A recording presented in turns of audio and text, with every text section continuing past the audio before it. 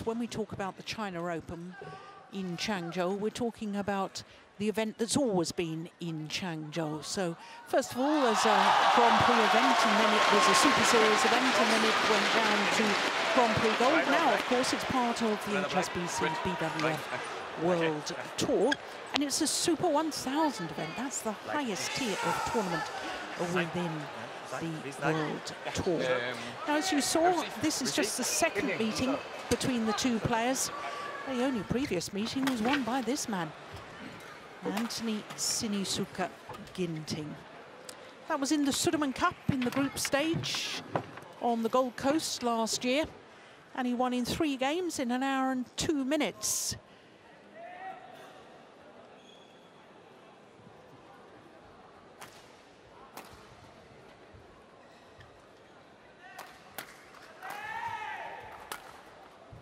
So he's just 21 years of age, although he'll turn 22 next month. Uh, born in uh, Cimahi, just west of Bandung in West Java. Fourth of five children. And he had a sensational first round win because he beat the six-time former champion Lin Dan in three thrilling games. Look at that. The second game absolutely whitewashed the former champion to five and then the deciding game to 19. So Viktor Axelsen is a little bit older. He's 24 years of age and he was born in Odense, which is where we play the Denmark Open. And as I was saying, he's making his third appearance here. His two previous appearances he lost in the first round, both when they were Super Series events, 2012 and 2013. But both times he lost in the first round to the eventual champion.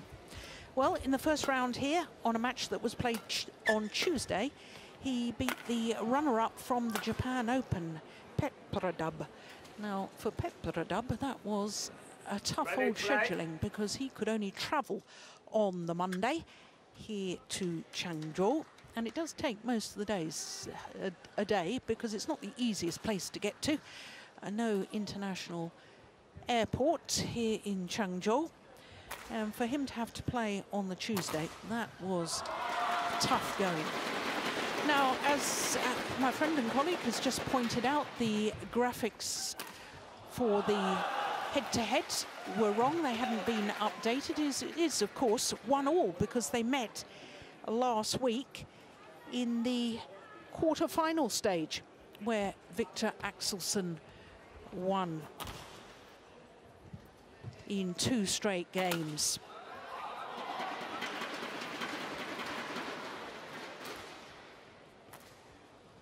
So it is, in fact, the third meeting between the two. And if you like your stats, I can tell you that it was 21-17, 21-15.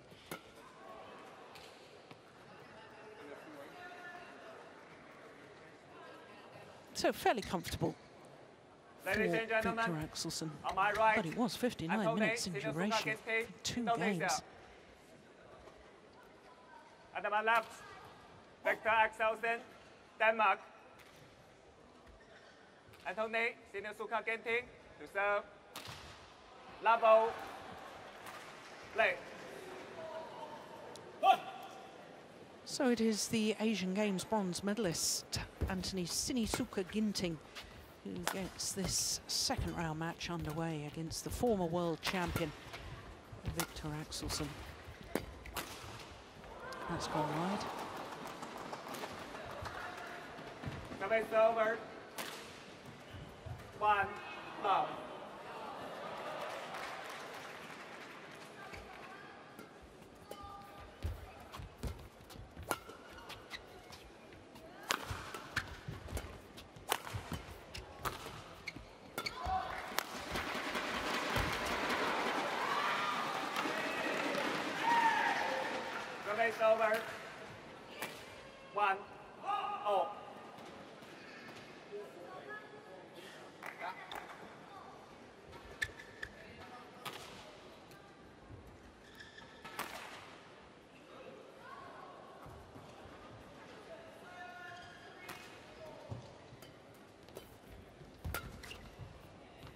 Oh my goodness, that was a late decision to play that.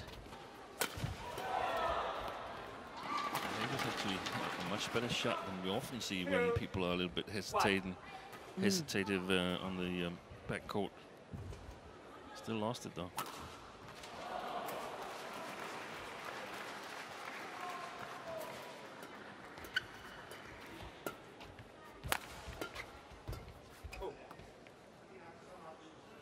Service over.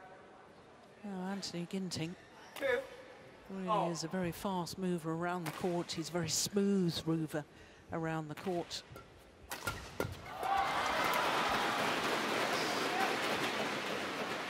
It'll be a really it's interesting match this one because uh, Three. Two. Ginting he played really well during the Asian Games and uh, he was basically the one who disposed of Kento Momota.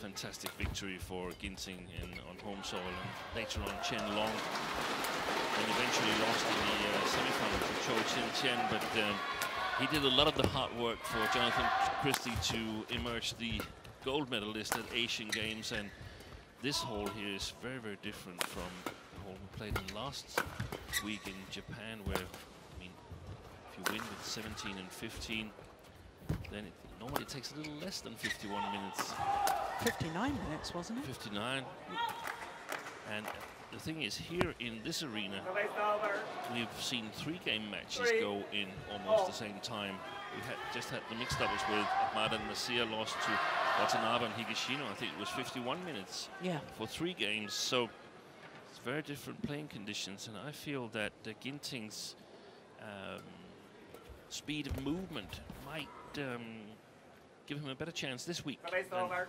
Last week against Axelsen. Four. Three.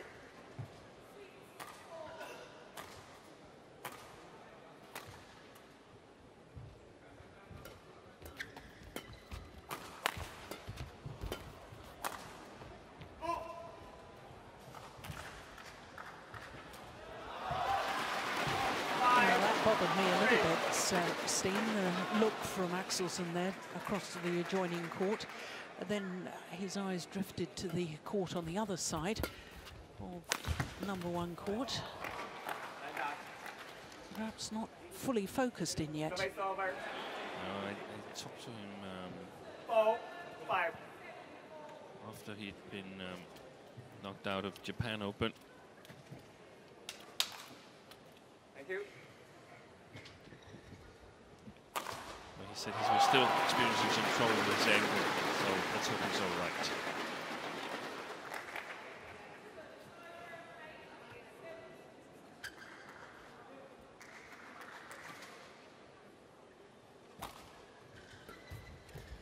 So fairly equal starts. It's gone wide. Service over. Six. Four.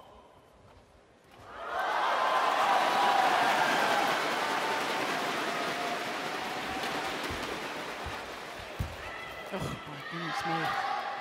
Well, he was quick onto that. He found the net, but that's sending a warning to the Dane.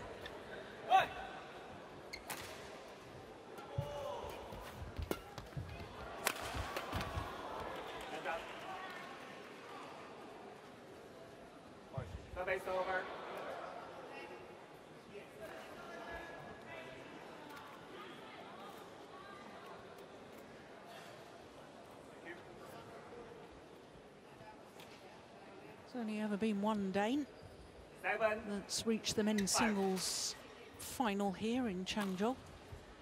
That was the very second time that this tournament existed. And that was Peter Gade in 2006, lost out to Chen Jin in the final. Six. Seven.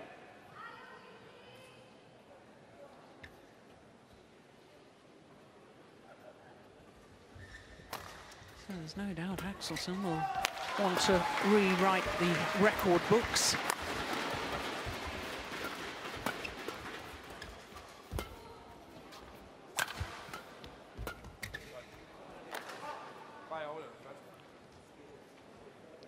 Seven. He says something, Axelsen to uh, Kenneth Jonassen. As long as I survive the first, must be the first pressure shot. He's talking about from uh, Anthony Ginting.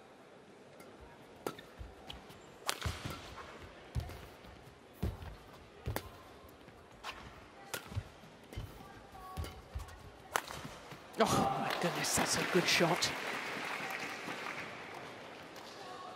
Eight, seven. And it's not easy, is it, Steen, for a tall man when uh, shuttle is pushed flat to the round the head position.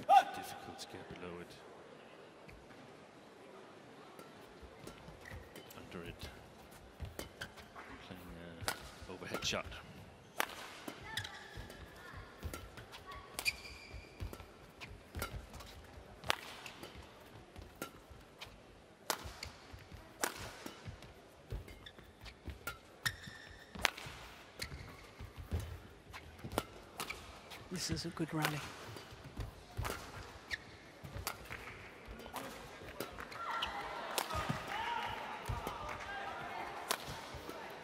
It's got to be the longest rally of the match so far as well. I think it's the longest rally of the day, from what I've seen.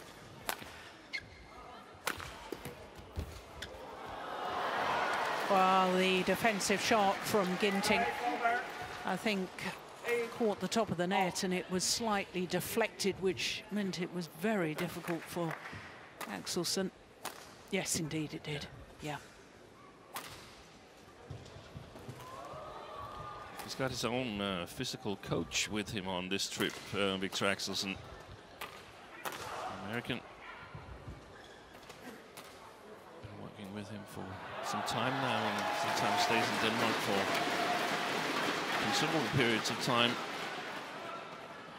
Is he the one that's been working on the sort of gymnastic No, skills? no, no, no, different one. Yeah, that's a, um, a Swedish former gymnastics coach living in Denmark. He's very good at agility practice and so on. But Axelsen realizing that being 194 centimeters high, that gives you some advantages. It also gives you some disadvantages, and it's eight. really important to minimize the effect of that. So that's a really, really good um, approach. Oh, good reactions. Uh, it was unfortunate for Ginting because the shuttle bounced off the top of the tape and just sat up nicely for Axelsen.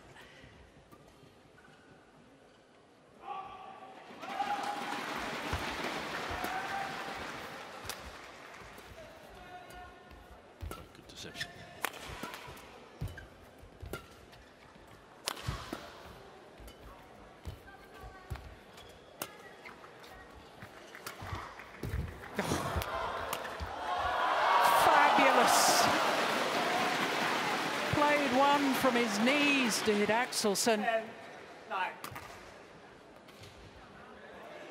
Look at that. And gets up so quickly. That's where the agility training has It come is. in. It's not like we haven't seen players do this before, but we don't see that many players on 194 centimeters do it so quickly. No.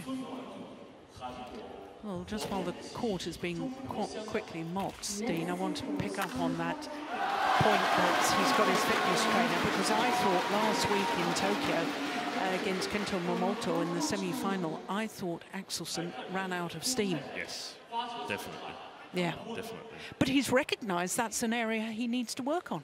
Yeah, and also uh, he's still experiencing some um, some uh, I don't know if you can say problems or aftermath with his ankle operation. Yeah. so hasn't been able to practice um, the way he wanted to. There's surgery in February ya, earlier berapa this kali year. gitu, nggak apa-apa. Jadi kamu udah lakuin, tinggal lebih klik aja. Jadi kamu, kamu lagi nggak apa-apa, nggak apa-apa. Lo kan nggak buru, kamu mau buru-buru ternyata rugi. Jangan, ambil ambil kesempatan ini, jangan boleh timbulkan itu. Kedua, kamu setengah angkat, habis itu pasti angkatnya udah tahu. Jadi kamu taruh servisnya yang nggak bisa dia net, panjangin. Mana bisa bagus, taruh lagi. Jadi udah rancang set, taruh lagi. Jadi jangan set gini angkat, ya. bola setengah belakang dikurangin. Kalau nonet dia, kalau nonet mungkin dia drive lagi ya. Toh? Nah, kan nggak mungkin dia ngangkat. Ya, ayo.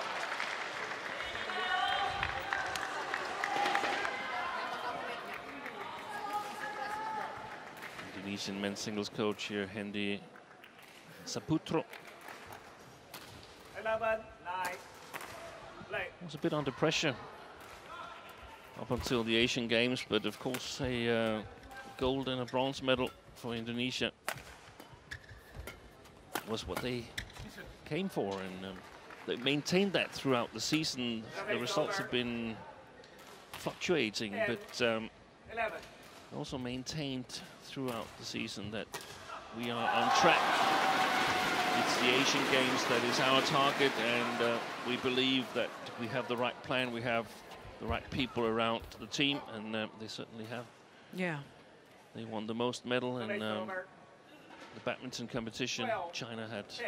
an extra gold, but um, could as well have gone Indonesia's way because um, Ginting here, he uh, he played some fantastic badminton. He in the final against China, he had um, two match points in the second game against Shi Yuqi. Eventually, didn't capitalize.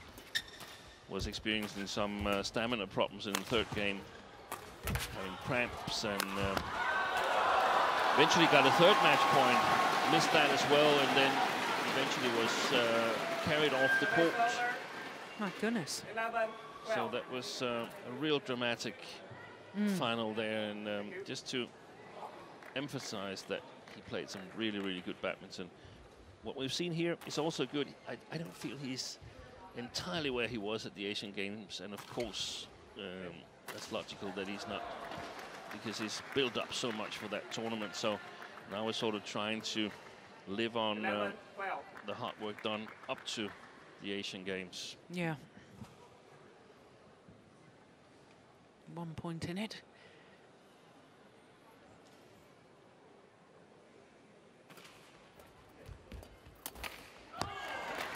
There. He knew immediately it wasn't tight enough. And actually, just emphasising your point, not about Ginting, but about the man who won the gold medal at the Asian Games, because he lost first round last week. He's lost second round here today to Ng Ka Long. Jonathan Christie, of course, is the man I'm talking about. So yes, that whole build-up towards the Asian Games, some players, uh, even if they won and are elated, are struggling now in the aftermath and, and We've seen it with Tai Tzu Ying in Yeah. the women's singles. She, she won the gold medal and she's lost early in uh, both these two tournaments here. Um, so it's not only the physical part, it's just as much the mental part. You're part of a multi-sport event, second largest multi-sport event in the world yeah, after the Olympics. I mean, there's only a few Europeans missing in terms of um, Asian Games, and you have an Olympic tournament. That's well oh, played. that's nice.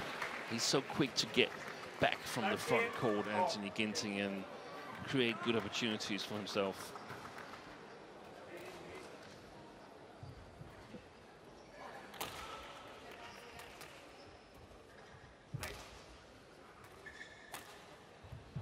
Yeah, that's just poetry in motion.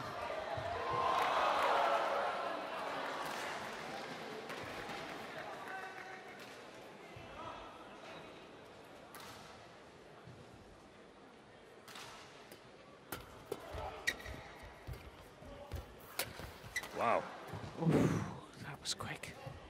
14, Well, he can't have taken it before it crossed over the net because the shuttle bounced on the top of the tape. Would have, he would have hit it backwards. so now it's Ginting back into the lead. One of three straight points. Make that four straight points.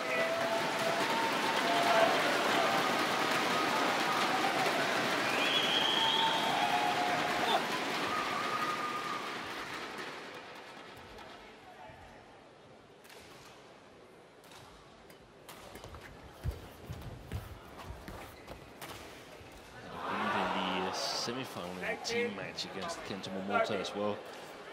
15-8 in uh, the third game. Eventually lost it, but uh, just shows that he was in really, really good form in um, those 10 days the Asian Games were played. Well, this is worrying times for the former world champion because this is six straight points now to Ginting.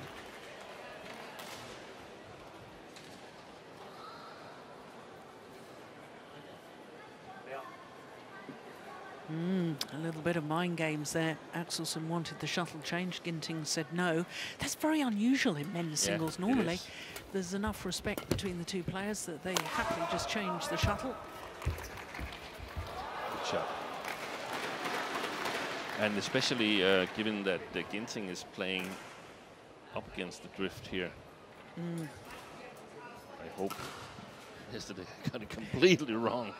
But um, 14, 17. pretty certain that it's correct that he's playing up against the drift and that would be natural to uh, just want to change the shuttle because you definitely don't want to play with a slow shuttle. You want your opponent to have a chance to play it long.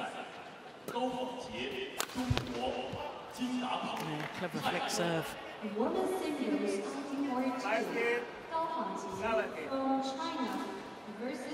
1942, 高仿杰 from China versus Neutral China from Thailand.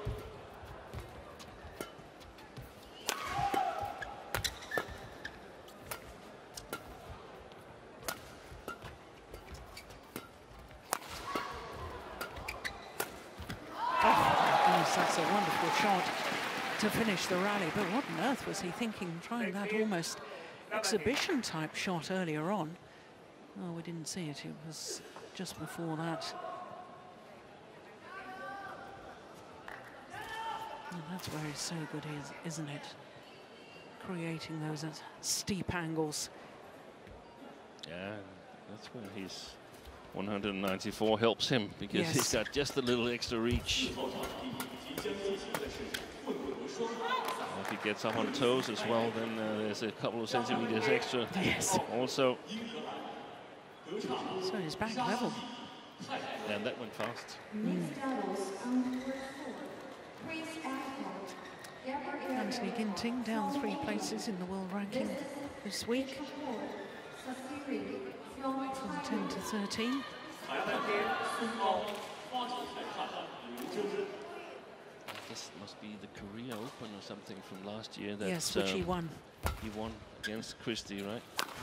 That's right. And that's come off the uh, new world ranking.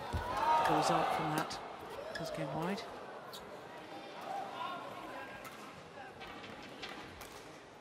Service over. Spending uh, forward sometimes, Axelsen, like he's having some kind of um, trouble with his back. Certainly seems to be taking every opportunity he can to have a quick towel down. Yeah.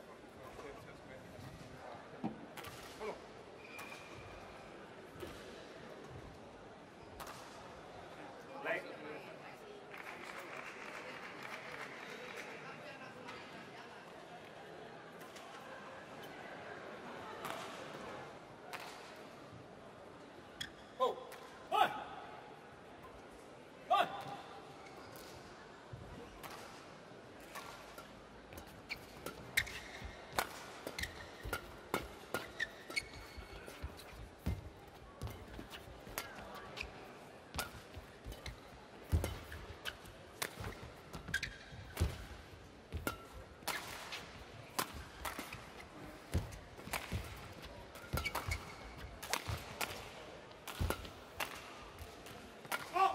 Yeah, well left.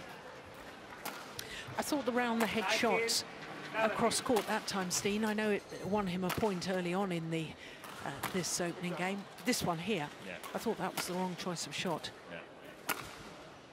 Too much out of balance, you mean? Yeah, So wasn't really able to um, follow up.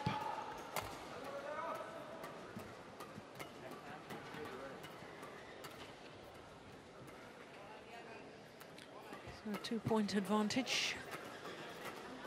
Two points away from the opening game.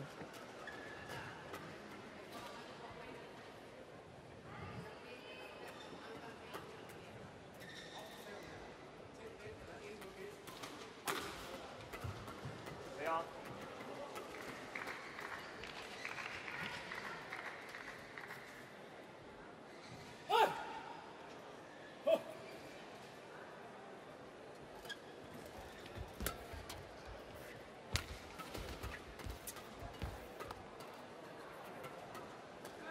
20. Yeah, that's 10 a points. 70. soft point, really, in my opinion. And it gives three game point opportunities to Anthony Ginting. Service Oh, service fault called, my goodness me. This is one of the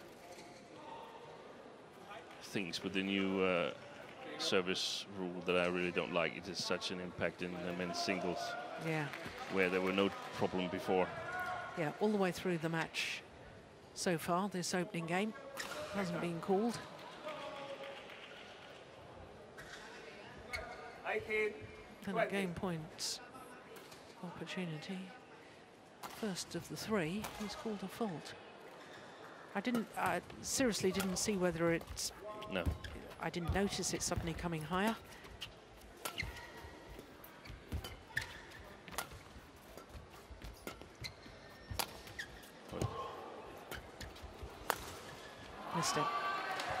So, on his second game point opportunity, Anthony Ginting takes the opening game 21-18. 22 minutes for that opening game. Kom igen. He looks tired sitting down. synes, det faktisk også. Man skal lige have en ind, og så bare lige få... Eller så hold pausen, og så skal du have en ind, når du skal lige får sige, der er et eller andet, der sidder fast. Okay. Det er samme spil herover. Op og styre den der. Ikke? Styr forbanen. Tør at skubbe den langt ind i brystet på ham. Og så lad ham prøve at tage nettet udefra, så du kan komme ind og styre. Men vi må ikke blive passive op på forbanen, fordi så kommer han ind og får løftet for mange gange. Ikke? Så ud for siden. Skub den langt ind i banen. Ja. Så en gang. Prøv lige at se, om vi kan vise det sidste overskud. Jeg ved, godt, jeg ved godt, det er fucking ubehageligt. Jeg kan ikke få luft i Nej, hænderne. ja, ja. Du må bare tage god pause. Men Ja, lige nøjagtigt. Og så, så hiver vi dommeren ind, eller... Hey,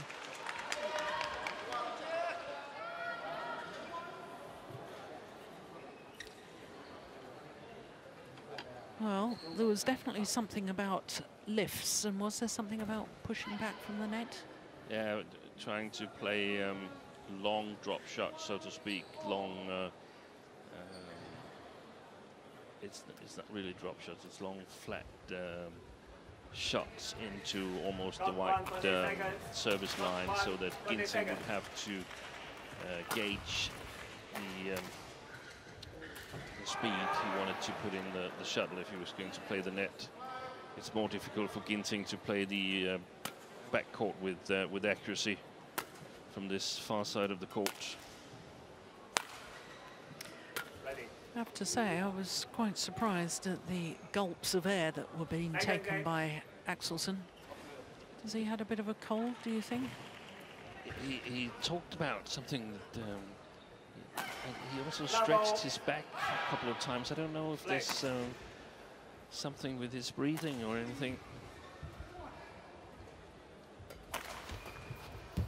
The Danes, important to what they discussed was it was important to control the front court. Otherwise, he would be made to lift too much uh, because Ginting has played really well at the net so far. Oh, not that time. Had a little look over the shuttle, decided not to go. Oof. Was a challenge here from Ginting. Well, we couldn't be further away from that back line because we're high up in the stadium, opposite end from that back line, but I thought that landed in. But I was wrong. And we have, furthermore, we have, at least I have on top of the tape exactly where the back line is. So um, back line is really thick One. from Yeah. uh, Actually, my that- perspective. Yeah, and me too. That's a very good point because I'm looking at the uh, white tape along the top of the net is uh, goes along the back line from my viewpoint.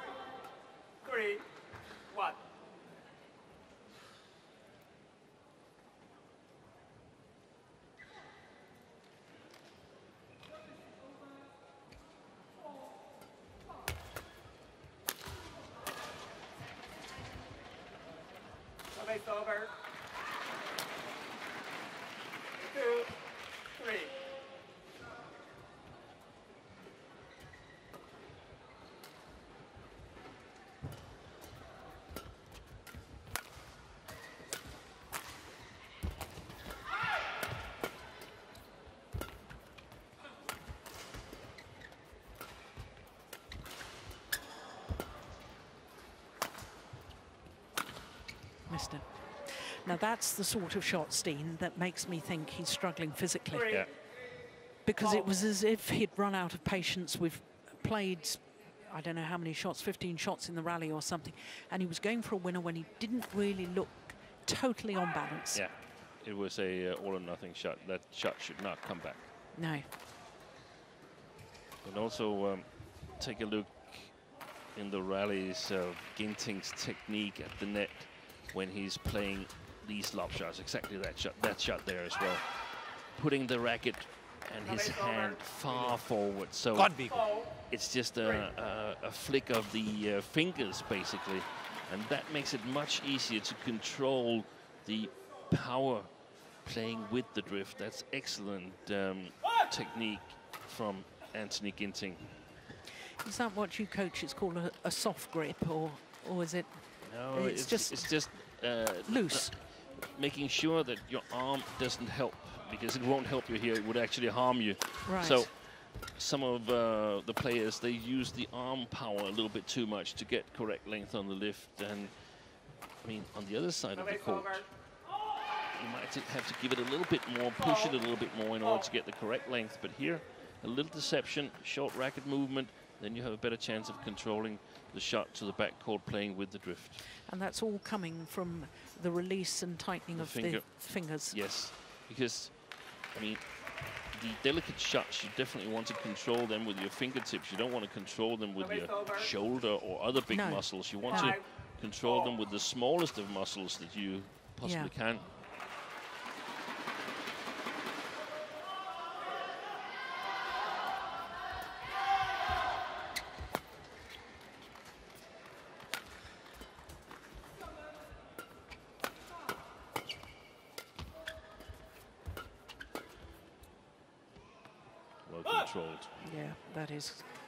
Very, very good control from Service Ginting. over. But again, Five. Axelsen just turning. Uh, he, even if he changed his mind, he would have had to play the backhand. Yeah. Didn't really get himself in position.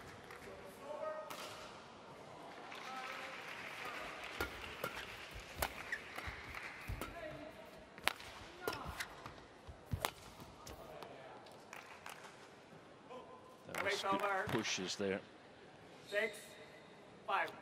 Five. from Axelsen.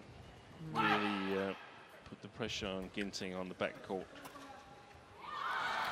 And the response from Hendry Saputra, a big sigh. Yeah. Perhaps he talked to Ginting about the pushes from Axelsen. Of When we don't you- know. Definitely when you played into the net once, you want to be ready with the racket so that if you're pushed one more time, you have a chance to intercept. Seven. Five.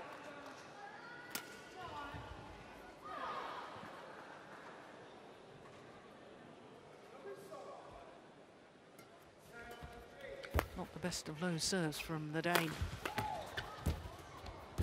been under pressure ever since. really good.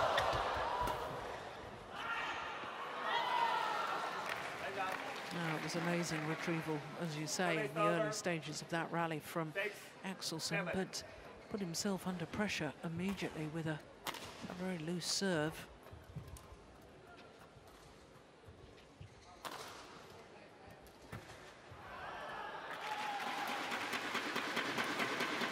Presumably Ginting is going on to Korea to try and defend his title.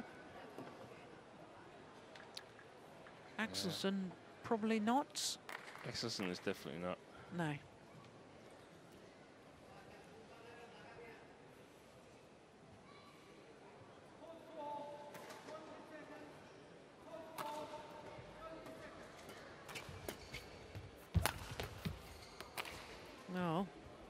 Anticipated it.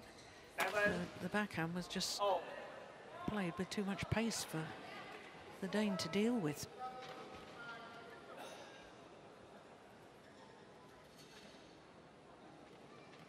Axelsen is going on to Korea, Wow. and so is Ginting. Of course, Axelsen missed Eight. tournaments early on because of the ankle surgery in February, which Yeah. is probably why he had to play all three. Yeah, you had to play. Um, was it all level two and three tournaments and four level four tournaments Yeah. out of um, seven? So skipped Thailand and Singapore, of course, up to uh, the worlds. nine, seven, Oh, this is four straight points now to Ginting. There was an India Open that Axelsen skipped because he withdrew from Indonesia. I think it was earlier in January. Yes, and then he went off and had his ankle surgery. Yeah. So that's the tournament that you're missing. But uh, eight, nine.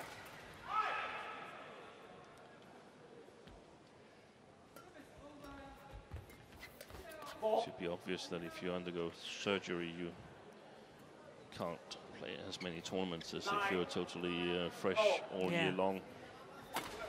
Yeah, I just saw there, Steen, uh, the stretching of the back again Yeah, from yeah. Axelsen. That's tremendous. And his speed in moving backwards is um, so amazing. ten, nine. First time I saw him, I thought he looked like a young Taufik Hidayat. Yeah. Both came or have been brought up in the same club. They have? Yeah. Service over. Ten, oh, good. He- he- Taufik is a little bit taller uh, than uh, Ginting, I guess. And I think Ginting is more explosive in his movement. Yeah, much, much more. And that, that's what uh, causes some troubles for, um, for Kento Momota. In my opinion, he's, he's the player right now who's closest to uh, Nicely beating done. Momota. Eleven, ten, interval. And just Yeah, that's a super shot from Paul Day. Momota can choose one player to place in the other half of the draw, then I Okay. think he should choose Så længe det er de her dueller, så er det fint. Ja, men så længe du er så afslappet, og så prøv at se, når du bare banker den ind i det lange mellemspil. Ja. Ja. Bliv ved med at være, arbejde på at være så afslappet. Tur stå så langt fremme. Ja. Det giver ham ikke, altså han får næsten ikke noget tæt net. Og det er det, han gerne vil. Okay. Det er med at spille Ja, ja, lige nøjagtigt.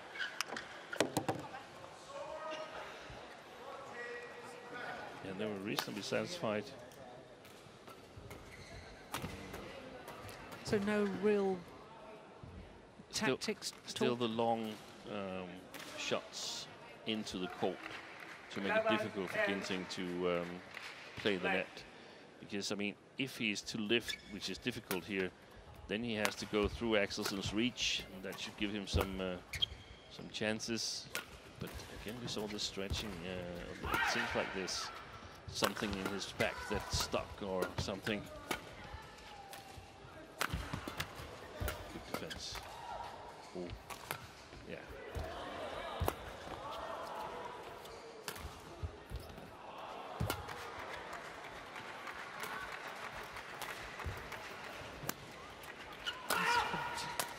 Rival the longest rally. Go shot. Yeah, yeah, exactly. Axelsen went 100% sharp for that last uh, net shot. And as we look at this rally again, I can tell you that Axelsen, once again, by the kit box, stretching out his back. Now, I thought in the second or third shot he played in the rally, he hurt himself.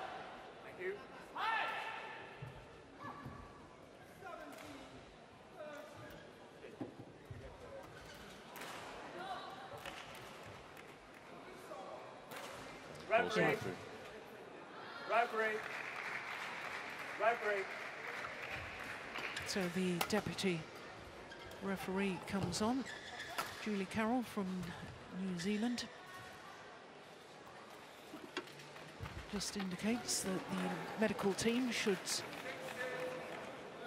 come on. And this is very, very worrying for Danish fans, and especially fans of Viktor Axelsen.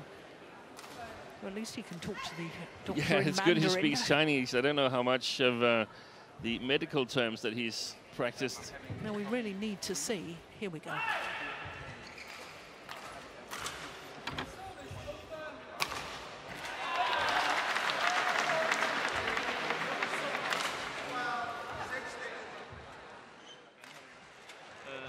I only have the drug.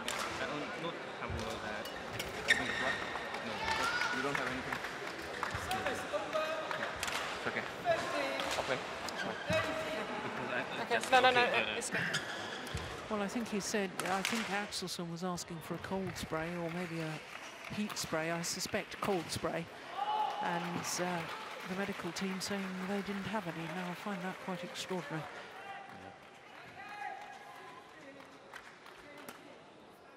I couldn't he- really hear what it was that he was asking Eleven. for. Um, maybe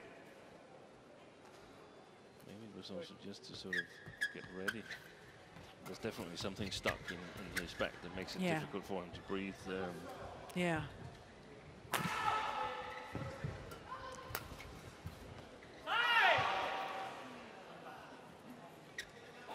Twelve. Eleven. It would also explain why he's been going for what I term winners too early on in the rally and, and, exactly. and missing. Twelve.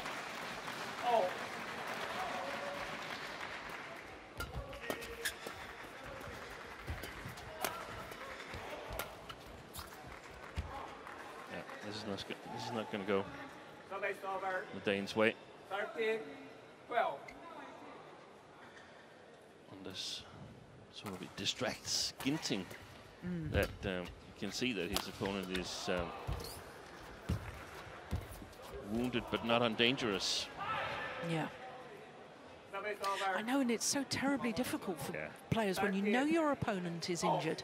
It, it's almost as if you feel you've got to change your game to, but Do I play a little bit more safe? yeah, Because it would be stupid to sort of lose it yourself. yeah. You feel, but um, And then if you take your foot off the pressure and stop doing what you've done to be in the lead so far, yes.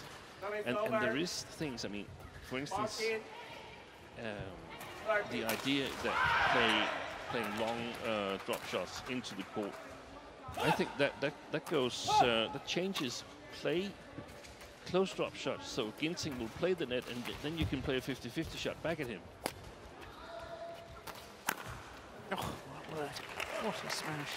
So, so in that way, Ginting probably has to adapt his strategy as well, because you want to avoid giving your opponent the chance of playing 50-50 shots, Yeah. Yeah. which basically means that Ginting should play the long drop shots into Axelsen, and um, if he's uncertain of anything, just play long shots into the body of the Dane. Then the next shot he can be a little bit more accurate with.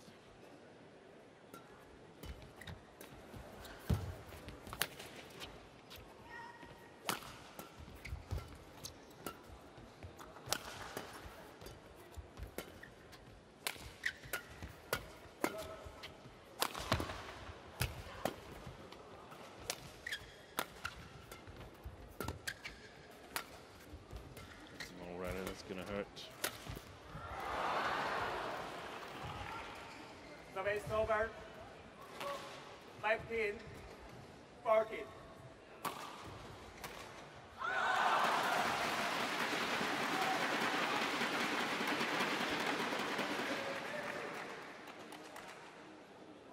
And it's just a very difficult situation altogether, also for Axelsen, because mm, if there's something uh, a little bit with his back here, it could be just unlucky, but it could also be because the build-up has not been as it should be, uh, because you want to get back to playing tournaments after you undergo surgery. You didn't ask for a medical exemption, because Mm. that sort of puts you out for a minimum of, uh, I think it's minimum of three months. That wasn't the case. There was the Thomas Cup, there was the Worlds, there was everything. Yeah. So you might have rushed it a little bit and, and haven't really built the way you should. Yeah. That's where sometimes you've got to sort of um, take the medicine um, in quotation marks and say, okay, I, um, I'm not playing. Like we saw Boe and Mogensen uh, do after Japan Open. We went home and said, we're not playing China, we're not playing Korea. We have to regroup. We have to uh, get better because otherwise we're not competitive. Yeah. But the the problem for oh that was another very loose serve. The problem for Axelsen is until last month he was world champion. He's current world number one. Everybody wants him at the tournament. So, Yes. and the rules are such that. Uh, he has to come anyway to, to do media obligations or he gets a fine. Yeah. But that, that's where I mean that's where you, in my opinion, takes the fine and say, hey, I can't go, I can't travel. Yeah.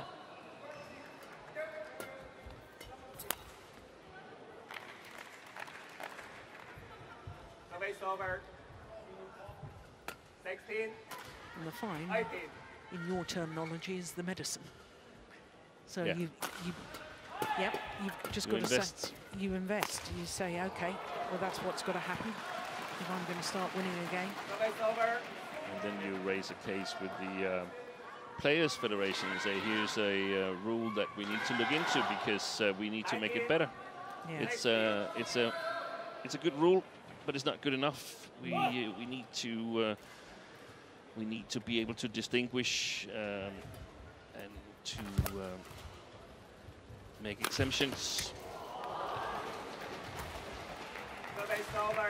so that you might instead of coming to that exact tournament, you might be available for a promotion later on or next Yeah. year's tournament uh, where it doesn't interfere with your uh, rehabilitation program. yes, So. yeah, I mean, that's the case anywhere. You make rules, and then eventually you became aware that there's uh, some uh, situations where the rules are not really fit. So you amend them, and um, that's the way it should be done here as well, in my opinion. yeah. Yeah, looks to me as if he's going through the motions.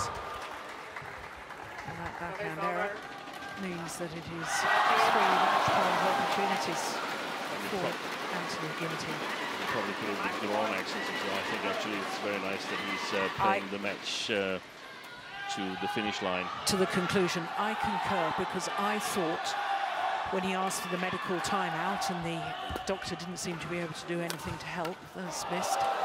So the match to Anthony Ginting, and not, let's not take anything away from uh, Ginting because he played well, but certainly the world number one well below his best today. Obviously struggling with injury or illness, or perhaps both. But, Ginting played well, and we've seen that he can spell trouble. Yeah. So um, He can spell trouble for all the other players, as you were telling us earlier on, with all the players he'd beaten or got so close to beating in Jakarta at the Asian Games. So he's through to the quarterfinal, Anthony Ginting. And the world number one, I'm pretty certain, will have to rethink his uh, trip to Seoul next week. Confirmation that Ginting Uh, beat the world number one and number one seed 21-18, 21-17 in a match lasting 45 minutes.